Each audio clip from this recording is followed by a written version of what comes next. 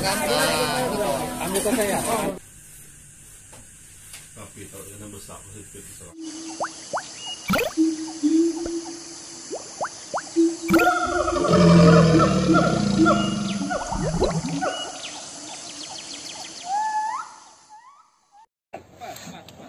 Kakaknya lihat. Ini, betul. Ini, Tak orang air makan itu. Yang sudah kita rek. Oke, hari ini tepat jam 8 malam lewat ya. Kita dapat informasi ada buaya yang ditangkap di daerah Cekong Abang yang katanya buayanya sekarang berada di kantor desa ya, desa Cekong Abang dan kita Alobi Foundation bersama tim BKC Asumsel dan juga ada uh, beberapa orang siswa magang akan menuju ke sana untuk mengamankan atau mengevakuasi uh, buaya yang tertangkap tersebut ya. Jadi kita pengen uh, mengevakuasi dan uh, melihat keadaan buaya serta uh, stories yang terjadi penangkapan buaya tersebut. Oke. Okay?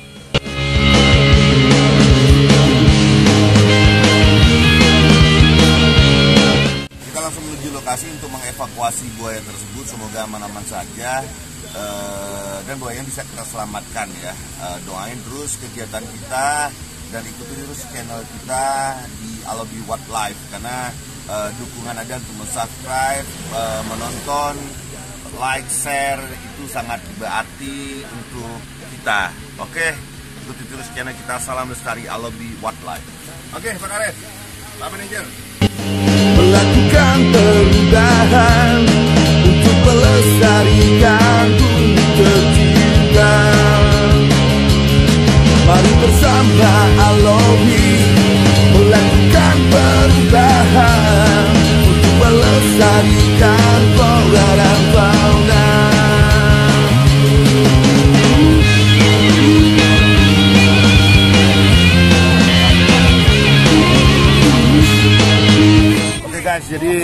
sudah sampai di lokasi di Desa Cengkong Abang. Kebetulan ini kantor desanya ya. Jadi masyarakat sudah pada ngumpul.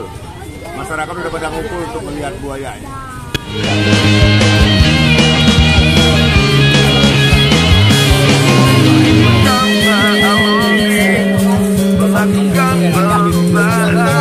Oke, siap. Oke, jadi kita langsung didampingi, didampingi oleh Kapolsek Mendo Barat Pak Devi ya yang memang sigap untuk bantu kita uh, mengevakuasi buaya yang di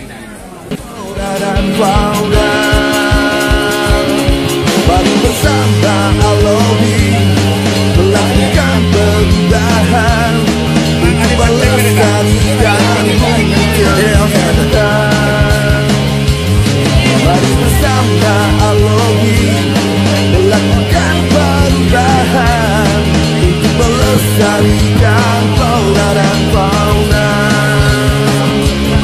Mari bersama Alobi Melakukan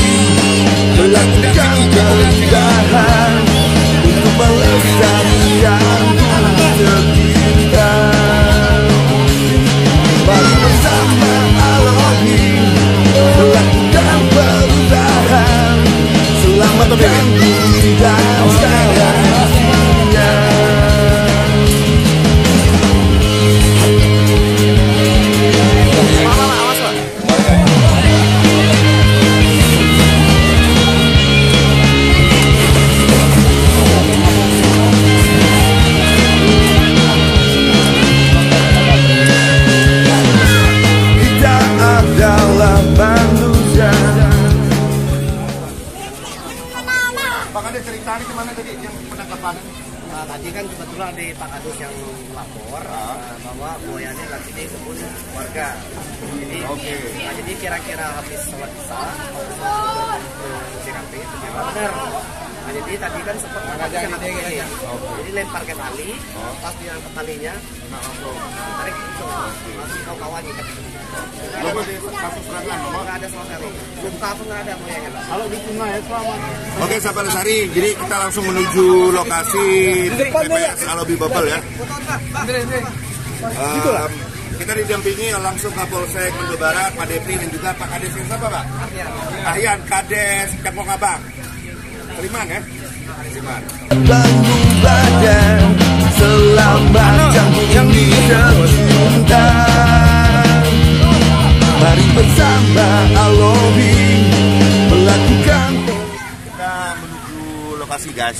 Salam besar. Tercinta Mari bersama Alobi Melakukan perubahan melestarikan flora dan fauna.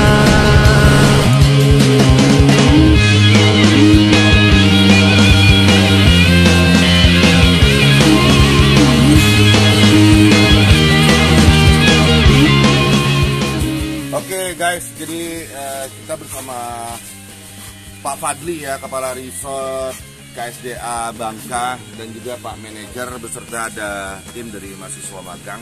Nah, eh, kita habis merescue satu ekor buaya yang kurang lebih ukurannya 2 meter eh, 70 cm ya kira-kira. Nah, diber- diberitahukan kepada seluruh masyarakat Bangka Belitung bahwa eh, pada bulan Agustus, September sampai dengan Desember ataupun Januari itu merupakan eh, waktu yang boleh kita bilang sangat bahaya eh, bagi masyarakat yang eh, bersentuhan langsung dengan habitat buaya. Karena pada bulan itu buaya eh, lebih agresif karena memang eh, musim kawin ya musim kawin yang sehingga perilaku mereka berubah menjadi lebih agresif. Nah diharapkan kepada seluruh masyarakat Bangka Belitung khususnya untuk tidak mendekati aliran sungai yang ada buayanya pada pukul 5 sore sampai dengan malam hari karena waktu itu waktu buaya berburu. Jadi